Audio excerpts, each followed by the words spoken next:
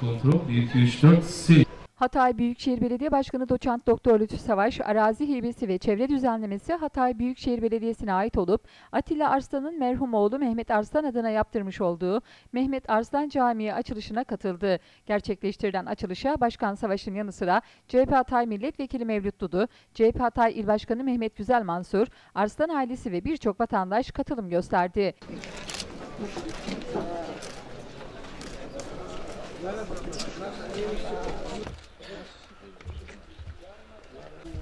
Formasını aldık. Büyük kısmet burası.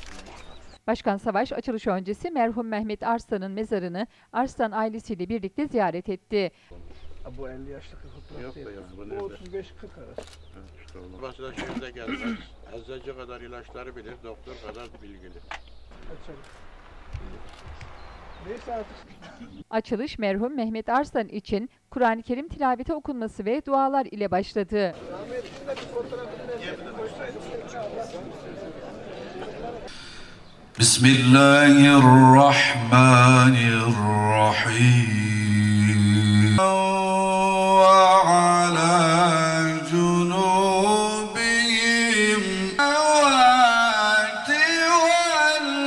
ala seyyidina Muhammedin ve ala el seyyidina Muhammed. Ve diğer sürelerden hasılan sevabı.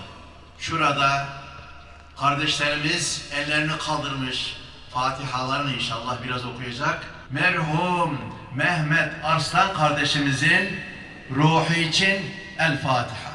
İnsanın hayattayken yaptığı iyilikler ve bıraktığı izler ile anıldığını dile getiren CHP Hatay İl Başkanı Mehmet Güzel Mansur, toplanmamıza vesile olan aynı zamanda bugün doğum günü olan değerli ağabeyimiz Mehmet Arslan'a Allah'tan rahmet diliyorum dedi. Mehmet Aslan'a öncelikle Allah'tan rahmet diliyorum. Mekanın cennet olmasını diliyorum. Hüznü ve aynı zamanda manevi hazzı bir arada yaşadığını ifade eden Başkan Savaş şöyle konuştu. Sonra eşinin, çocuklarının, Atilla abimizin gerçekten de hüzünlü ama huzurlu bir günündeyiz. Ben tabii bizim inancımıza göre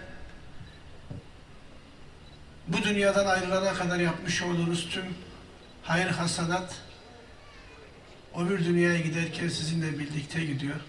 Bütün ailesi olmak üzere, Nazmi Ceylan abimiz olmak üzere bizim arkadaşlarımız ve buraya gelip bu caminin açılışında dualarla destek veren tüm dostlarımız da faydalanacaktır.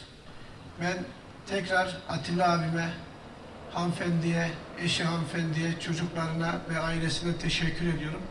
Rabbim bu hayırlarınızı kabul etsin diyorum. Bu hayırlar olduğu sürece de buradaki ibadetler ve dualar olduğu sürece de Mehmet kardeşimizin acısını size bir nebze unuttursun diyorum. Allah kabul etsin diyorum. Buraya gelip bize destek veren bu açılışta, bu manevi dünyamıza destek veren tüm dostlarımıza da teşekkür ediyorum. Hepinizin hayrı kabul etsin, kabul olsun. Camimiz de hayırlı, uğurlu olsun diyorum. Saygılar sunuyorum.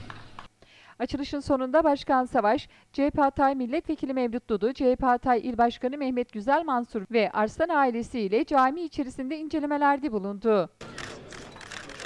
Hayırlı uğurlu olsun diyoruz çok kıymetli misafirler. Tüm İskenderunlular adına aynı zamanda ve merhum için